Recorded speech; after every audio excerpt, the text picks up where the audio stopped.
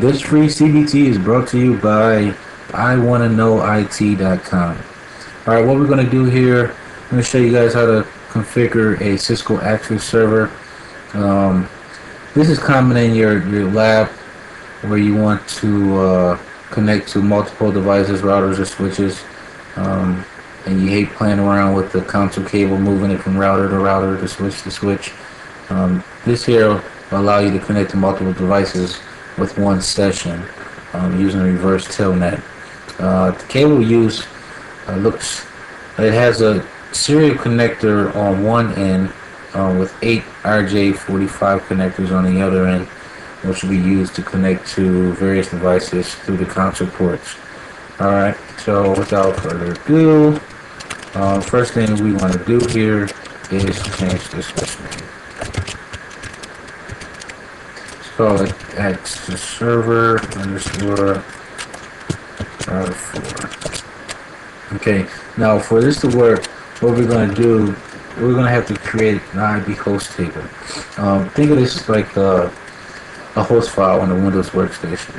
So we got IP host, the name, we associate with whichever device we're connecting to, and the port. Also, you'll see later, I will create a loopback interface, um, and that's what that address is that I just put in there.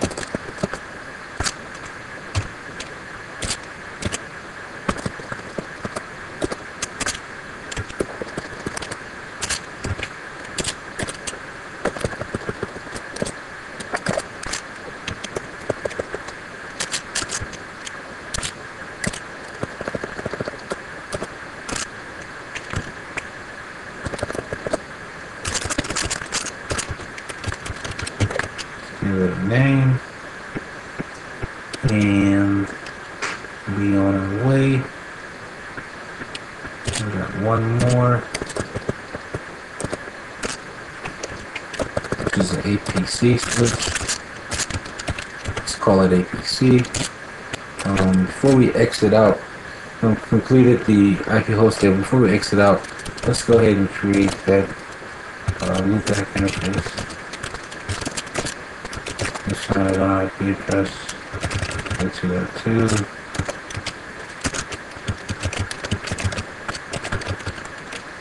Oh, let's that address.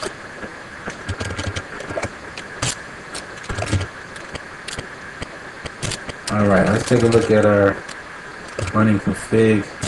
Just take a look at everything. Make sure everything looks okay. Alright. Everything looks fine with our host table. What we're going to do, I'm going to show you here, um, and I, I want to make a note of this. When you go out there and search on the web and you look for how to configure an access server, a lot of times it's the, the information stops right there. But we are not able to take a look. We're not able to connect to our router because there's still an additional step that we have to take.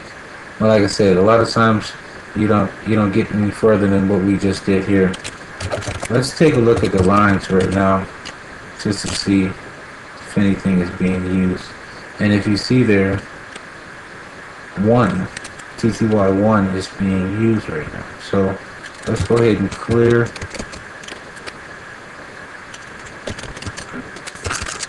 clear line TTY1. Fine. That's going to give us problems when we try to connect. Also, let's show session, and you'll see later. Um, that'll show us the different connections that we have open. All right. So let's get to this last and final step here. We have to configure the lines. 1 through 16. And we're going to tell the transport input telnet because that's the protocol we're going to be using. Alright. So now let's try router 1. Oh, we got a connection open.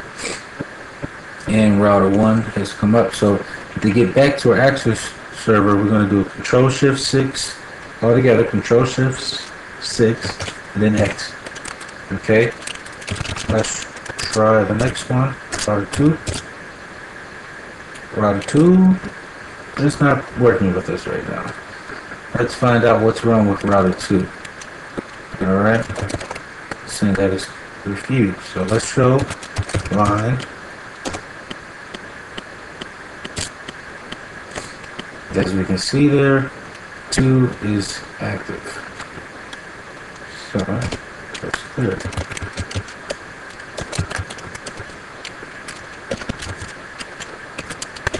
Clear 2.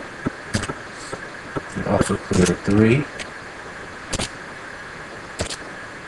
And I think that should be it. Let's do a show line again. Looks like 2 is a little stubborn. Okay. Remember, it won't work if, the, if those lines are occupied, so router 2.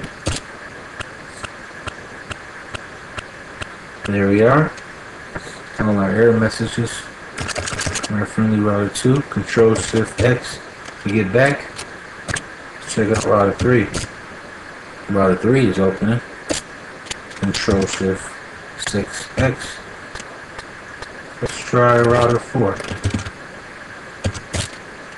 No problems with router 4. And skip the switch APC. Right there. Now, let's do a show session. There we are. We have all our connections established.